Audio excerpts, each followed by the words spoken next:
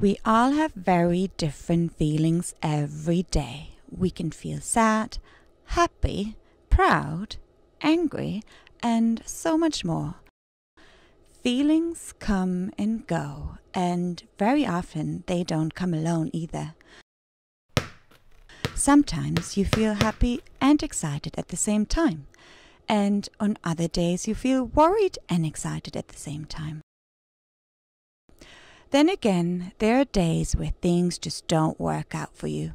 You feel angry and sad or disappointed. Did you know feelings change all the time? They change because of the things that happen around us or because of the things that happen within us, like thoughts. Thoughts can change how we feel. For example, thinking about your friend who moved away can be very sad, but remembering the good times will help you to feel better. Ugh, sometimes though, feelings can be overwhelming. You may think that they are out of your control and you wish that they would just leave you alone. Well, we all have feelings for a reason though. Feelings are here to guide us. They help us make decisions and tell us what we like and don't like. Most of the time, luckily, feelings are just kind of there and we don't have to do anything about them. You can just let them be.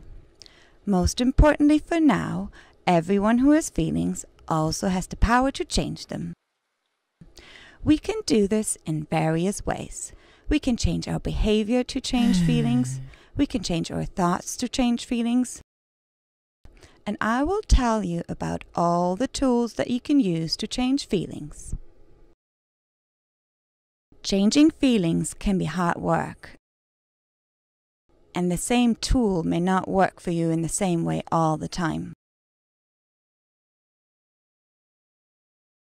With time and practice, though, you will understand your feelings better and you will know which tool works best for you. Now it's time to go and explore. Have fun. I'll always be by your side, the right side corner down there. So if you have questions or need help, just poke me.